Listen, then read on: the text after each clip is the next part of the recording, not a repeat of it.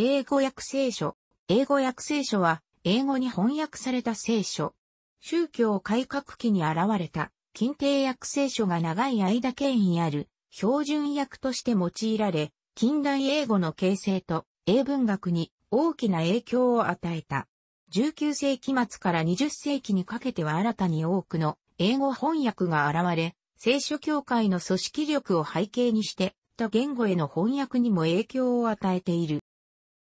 中世では、ラテン語が得意ではない聖職者のために、注釈という形で、ラテン語聖書に英語訳をつけるということは行われていた。注釈でない独立した英語訳聖書にしても、7世紀末にベーダ・ベネラビリスが、小英語へ聖書を翻訳しており、中世での英語翻訳の事例がないわけではない。しかし14世紀の最後の四半世紀まで、聖書全体が英訳されることはなかった。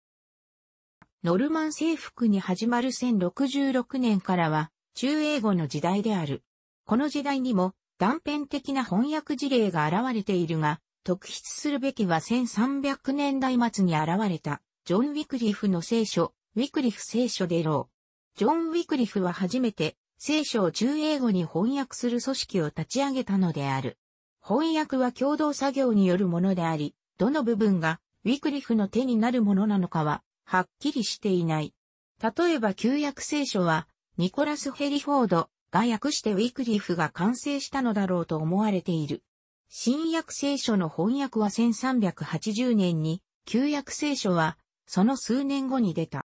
教会の権威筋は、現地語への聖書翻訳を、教会の祝福を受けていないものとして、公的に求断していた。そして、そういう人間たちに異端あるいは、ロラードというレッテルを貼っていた。ウィクリフは迫害を受け、ウィクリフの聖書は禁止されたのである。にもかかわらず、ウィクリフの死後に改訂版が出回って、およそ100年間使われ続けた。今日、ウィクリフは宗教改革の先駆者として評価されている。ウィクリフの翻訳が出たちょうど次の15世紀には、ルネサンスがあり、印刷機が発明された。それまでは、聖書の翻訳はラテン語もしくはフランス語からの翻訳であり、ギリシア語やヘブライ語原点は文英復興による古典語研究の流行とグーテンベルクの過半式、印刷機、1455年によって初めて手にすることができたのである。この二つの事件で聖書英語翻訳史には実りの多い時期が始まることになる。1500年から1800年までが初期近代英語の時代であるが、特に16世紀は盛んに聖書の英語訳が行われた。宗教改革と対抗改革がそれぞれに英語訳聖書を必要として、それぞれの翻訳聖書を生み出していったのである。前世紀のウィクリフ聖書は宗教改革の原動力の一つではあったが、ヨーロッパ諸国の中でイギリスは翻訳聖書の出版には立ち遅れた国となった。いくつかの理由があるが、その一つには、イングランド君主が異端の電波を阻止しようと神経を尖らせていたことが挙げられる。これは例えばティンダルが新約聖書の欄外に書き込んだ破壊的中などで正当化されていた。もう一つには、カトリック教会の共同権の協議が挙げられる。聖書翻訳の権威はカトリック教会にのみ属するとカトリック教会は主張していたのである。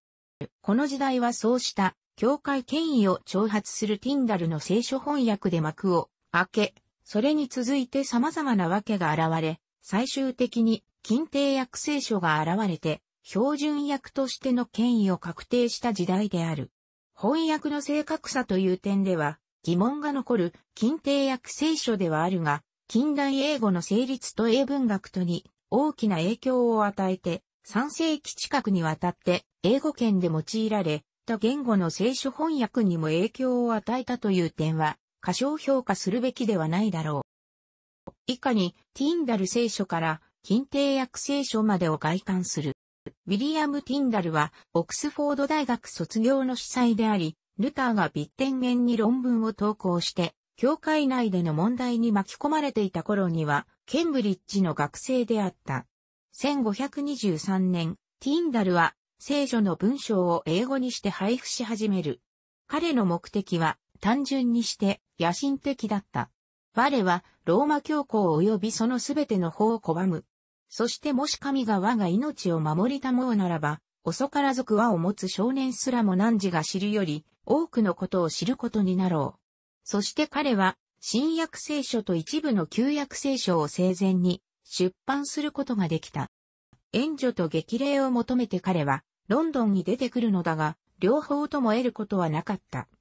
ロンドンの司教の宮殿には、新約聖書を翻訳するような場所はなかったと彼は、かつて言ったが、イングランド全土にそもそもそのような場所がなかったのである。ロンドンの富裕商人から送られた10ポンドを使って、彼は海峡を渡って、ハンブルクに赴き、大陸の各地を転々としながら、身を隠し、イギリスよりも使用することがたやすかった印刷機を使って彼は翻訳を完成するのである。ティンダルは、ある時は数枚の印刷原稿を持って逃げ出し、別の印刷機で完成させるなどということもやらざるを得なかったし、彼の本は何度も焼かれ、彼の命も危険にさらされた。そうしたティンダルのエピソードにはこんなものもある。ロンドンの司教、タンストルは、英語訳聖書を撲滅しなければならず、アントウェルペンの商人に、英語聖書を差し押さえてもらう契約を結んだ。この商人は、ティンダルの友人だったので、ティンダルにこう持ちかけた。聖書関連の顧客、つまりは、ロンドン司教が、英訳聖書を買い取るつもりだと。ティンダルはこの商人に、彼の英訳聖書を渡して、彼の負債を払ってもらい、新しい版の聖書のための財政支援をしてもらったという。教会がティンダルの翻訳に反対したのは、その攻撃的な乱外注釈、有害注釈と反聖職者的で異端的見解を広めるための教会が言うところの恋のご翻訳がその中には含まれていたからであ。このためにティンダル訳の初期の版は徹底的に取り締まられてほとんど残っていない。ティンダルも最後には死刑になっている。しかし、後の近帝訳聖書、KJV には、ティンダルの仕事の大半が反映されており、このためにティンダルは、近帝訳聖書、KJV の父と考えられている。近帝訳の新約聖書90%近くがティンダルのものと考えられており、約3分の1はティンダルと全く同一である。旧約聖書についても、ティンダルが手をつけた部分に限れば似たような割合になっている。聖書全体の近代英語訳として、最初のものは、1535年に出版されたカバーデール聖書で、ティンダルが未訳だった旧約聖書の一部分をマイルス・カバーデールがラテン語とドイツ語章から訳し、ティンダルの聖書に付け加えたものである。マシュー聖書は、トーマス・マシュー、トーマス・マチューという偽名を使って、ジョン・ロジャーズ、ジョン・ロジャースが1537年に出した。これもティンダルが以前に出していた版に、旧約聖書の未出版原稿を加え、さらに足りない部分をカバーデールのわけで補ったものである。ティンダルの挑発的な注釈が取り除かれていたから、かつてはティンダル聖書を禁止したヘンリー・パッセイ、在位、1509から1547年は、この聖書を認可した。よって、これを主流英語訳聖書の最初と考えることができる。タバナー聖書は、マシュー聖書のマイナー改版で1539年に出版されたものである。大聖書として知られる聖書は1539年であり、再びカバーデールによって訳された。大聖書は文字通りそのサイズが大きかったために付けられた名前であり、教領に沿って発行されたものである。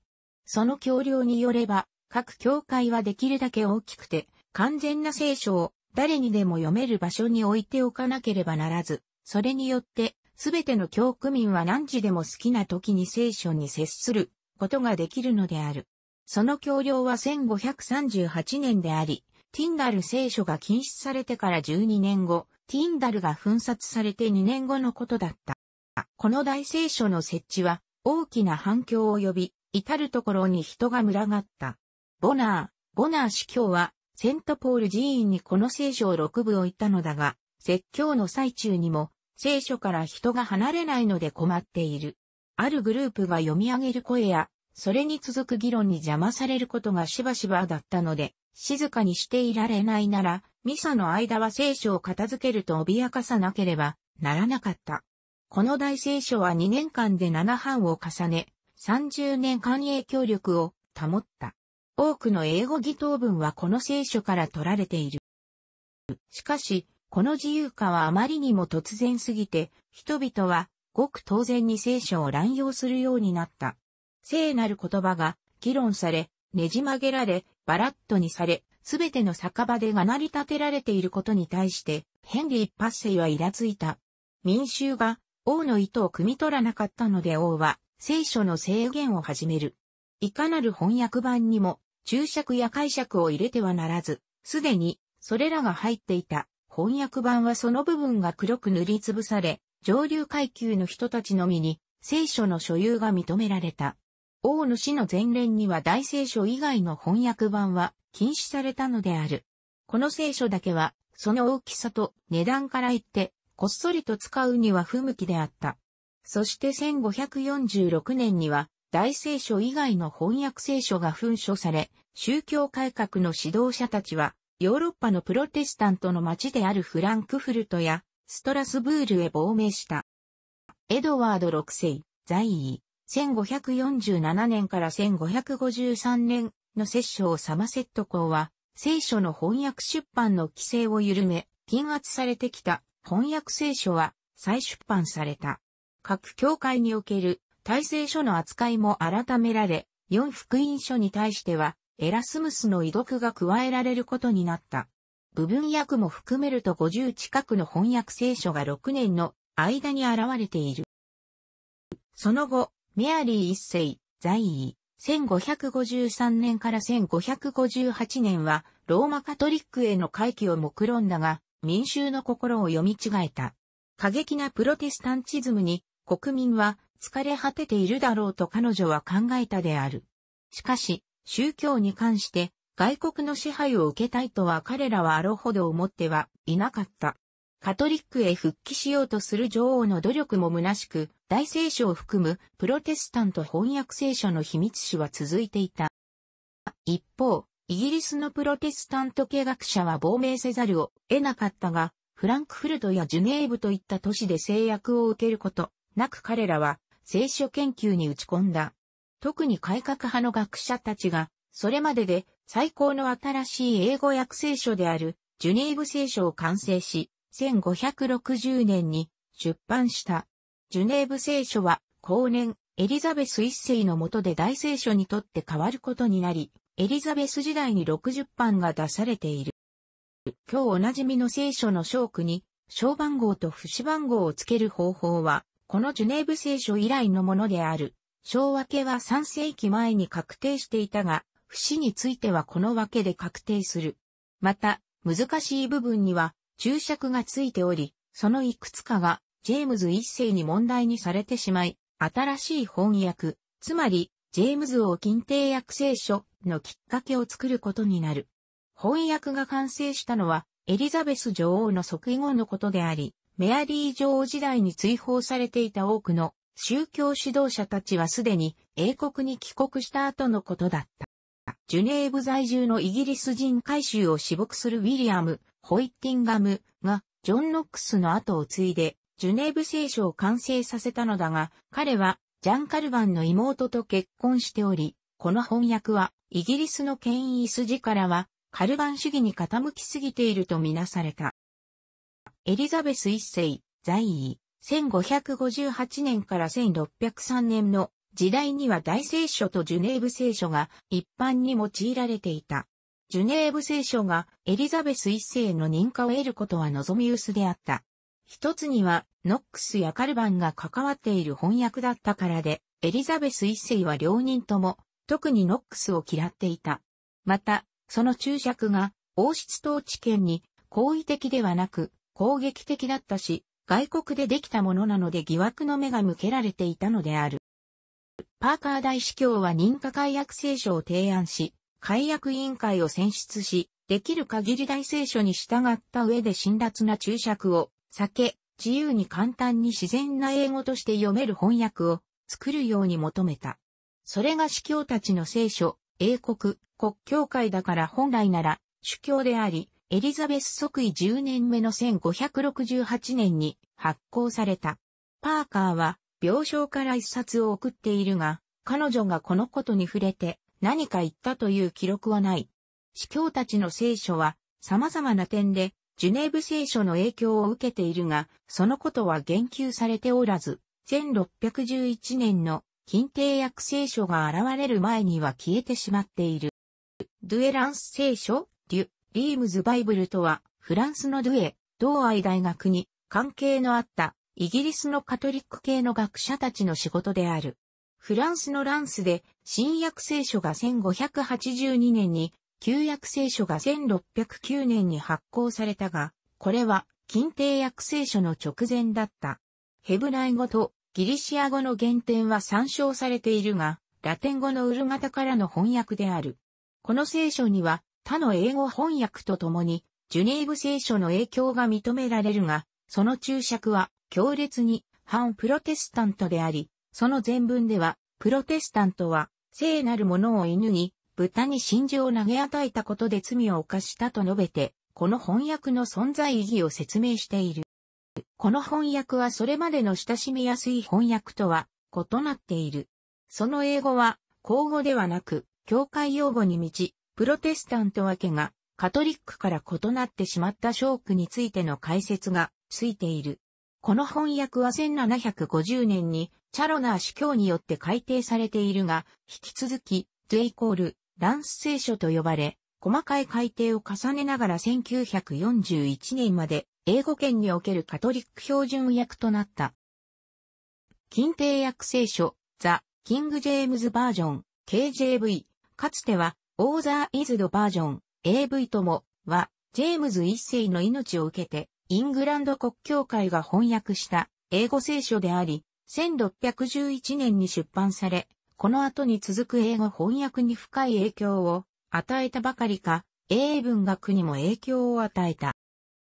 知られているところでは、国王が自ら召集した1604年の教会会議において、新教とピューリタンの参加者から教会で用いるための新しい聖書翻訳が欲しいと要請が出たことが発端だったと、ことれている。新教徒は、ジュネーブ聖書を普段使っていたが、それは認可訳ではないので教会では使えなかったのである。これに応える形で、オックスフォード大学とケンブリッジ大学の学者たちとウストミンスターの学者が招集され、50人もの翻訳者グループが組織された。この時の国王の指示の中には、欄外にいかなる中もつけてはならないというものがある。ジュネーブ聖書に付けられていた欄外注釈にジェームズ王が気に入らないものがあったという説もある。諸教派が共有できる聖書を目指したために、ティンダル聖書以来トラブルの元になってきた欄外注釈を外すのは温当な処置であった。そして、これは後世の聖書教会系聖書などにもその伝統が引き継がれることになった。また、国王の指示は、司教たちの聖書をもとにして解約せよというものであったので、近帝訳は事実上、ティンダル聖書とジュネーブ聖書を基本としていると言われている。近帝訳聖書は、イギリス国内で最も権威ある聖書となり、近代初期の英語翻訳の中で最も使用された聖書となった。いくつかの伝統行事の中では今に至るまで用いられている。現代の聖書学は、その翻訳にいろいろな問題点を指摘しているが、それでもティンダル聖書に強く頼っているその文体と言葉の使い方については広く称賛された。この聖書の権威は2世紀半の期間、19世紀末まで続き、20世紀になっても使われ続けた。近帝訳が権威を保っていた長い期間に、聖書学も進化を遂げてかなり精密な成分批判が行われるようになっていた。そこで19世紀も終わる頃になって大幅な改訂作業がイギリスで行われ、1880年に新約聖書が、1884年に旧約聖書が発行されて、改訂訳聖書 RV と呼ばれている。近帝訳の語訳、蓋然性の低い解釈、難解な表現、翻訳内部の矛盾を大幅に修正し、ギリシア語文法のアオリストを過去型で統一している。この RV の作業はイギリスで行われ、アメリカの聖書学者も参加したが、その意見は多くは本文には取り入れられず、付録に記録されただけであった。そこで、こうした学者たちがアメリカ標準訳聖書 ASV を1901年に発行している。実質的には RV のアメリカ版と評価されている。その後、根本的な改定を目論んだ改定標準訳聖書リバイズドスタンダードバージョン RSV がアメリカで編纂され、1946年に新約聖書が、1951年に新旧合わせた聖書がアメリカ教会協議会、ナシャルカウンシル・オブ・チャーチス、NCC によって発行された。評価も高く、RSV はアメリカのプロテスタント教会で公式に用いられる聖書となり、近定訳聖書から切り替えられていったのである。この RSV は1989年に改定され、新改定標準訳聖書 N、RSV となったが、この NRSV の編集には、カトリックや正教会やユダヤ人学者が招かれており、世界的な共同訳の流れに乗った事業でもある。また、改定標準訳聖書の改訂版としては、英語標準訳聖書 ESV もにより作られて、ホテルやミシントへ向けて聖書を無料配布している国際ギデオン会や2013年から NKJV に変えて ESV を配布している。RSV はイギリスでも読まれるようになったため、イギリスでも新しい翻訳を作る声が強くなり、1961年に新約聖書を、1970年に聖書全体が発行された。これは New English Bible NEB といい、伝統的な欽定訳の古めかしい英語を離れて、現代イギリス英語の用法を大胆に持ち込んだ翻訳である。わかりやすいという評価の反面、意訳に偏りすぎて、原意を損なっている箇所が多いという批判がある。その批判を受けて、翻訳方針が修正された上で、 Revised English Bible、REB が1989年に発行された。この REB にもカトリックから公式のメンバーが出ており、共同訳に近いものとなっている。また、 REB と NRSV からは、女性差別表現について、原文から外れない範囲で、男性向けの言葉を削除している、any man、any、man human など。アメリカの RSV や NRSV はできるだけ直訳で訳すという方針のもとに作られているが、イギリスでの NEB のようにできるだけ多くの人間に、できるだけわかりやすい聖書を届けようという考え方からは、また別の翻訳方針が生まれることになった。世界中に聖書を安価に配布することを目的とした聖書協会が発行したトゥレイ、S イングリッシュバージョン、テブあるいはグッドニュースバイブル、GNB、1966年に新訳、1976年に旧約聖書がそれであり、わかりやすい表現を最優先した翻訳であるが、原文が持っていた曖昧な文章も無理にわかりやすくし、時に解説的に過ぎる翻訳文になり、時に重要な概念までも歪めているとも批判されている。神の子の地という表現を新約聖書からすべて消去したことなどが有名である。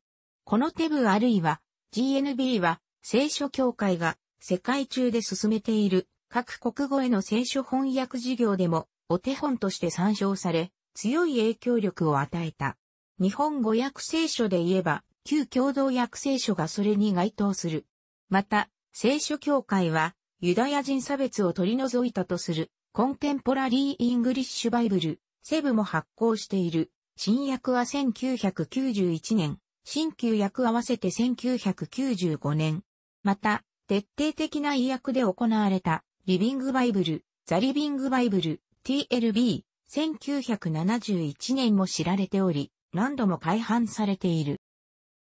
新世界訳聖書、 New World Translation of the Holy Scriptures、NWT は、1950年から1961年全訳に、エホバの証人で構成された新世界訳聖書翻訳委員会によって翻訳され、物見の党聖書冊子協会によって出版された聖書である。エホバの証人側が字義分けであり最も正確な翻訳であるとする一方、エホバの承認に反対するキリスト教団体からは、エホバの承認の教理に合わせて翻訳されているという批判や非英語圏においては、英語からの重訳聖書であり、学問的な水準に疑問があるという指摘もある。新アメリカ聖書、ニュー、アメリカンバイブル、ナブは1970年に新旧訳合わせ、発行されたカトリックの聖書であり、それまでカトリックがこだわってきた、ウルガタラテン語標準訳を離れてギリシア語とへ、V 語の原点から翻訳された。翻訳方針としては、レブやテブとは異なり、原文にできるだけ近く訳そうというもので、RSV の方針に近い。RSV、あるいは改訂された NRSV、レブと並んで、現代英語翻訳聖書を代表するわけだとも言われている。カトリックが本格的な英語訳聖書を持ったことで、英語圏においてもようやく共同訳事業の可能性が現れたとされており、前述の NRSV やレブのプロテスタント聖書翻訳へ参加者を送るようになった。アメリカでは RSV、NRSV とテブ、GNB を不満足なものとして聖書無語ビューの立場から翻訳された新国裁判聖書ニューインターナショナルバージョンニーブも現れている。これはファンダメンタリズムや福音主義の諸教会で用いられ、近年は福音主義の勢力増大とともに発行部数を伸ばしている。また、福音主義系教会の世界伝道に伴って、ニーブを手本とする各国語翻訳もれており、影響力を与えている。日本語訳聖書で言えば、新海訳聖書がこれに該当すると言われることもあるが、もし影響があったとすれば1970年出版の新海訳聖書が1978年出版のニーブに影響を与えたと考える方が妥当である。最新の英語訳としては、コモン英語訳聖書、コモンイングリッシュバイブルがある。上記の英語翻訳聖書などをリストにしたものが以下である。年代順。楽しくご覧になりましたら、購読と良いです。クリックしてください。